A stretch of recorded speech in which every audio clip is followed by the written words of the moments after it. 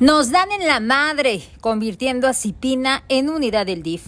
Verdaderamente con la decisión de pasar el secretariado del Sistema de Protección Integral de Niñas, Niños y Adolescentes al DIF en calidad de unidad administrativa, nos dan en la madre, así lo consideró la diputada Sujei Torres Rodríguez. Agregó que organismos como este hacen mucho trabajo en favor de la población vulnerable. Hacen trabajo en beneficio de la sociedad y que pues podrán tener a lo mejor sus detalles y habrá que hacer algunos eh, reacomodos en muchos de, de los proyectos o los programas que tienen para poder ellos implementar acciones, pero yo creo que desaparecer programas no es lo, ideal siempre, no es lo, que debería de ser en su momento. Y bueno, pues nos dan, de verdad, nos dan en la madre a todos los ciudadanos y sobre todo lo más importante que tenemos, que son las mujeres, nuestras niñas, niños y adolescentes. Los niños, nuestros niños y niñas y adolescentes hoy en día tienen que estar en la agenda pública de todos los gobiernos.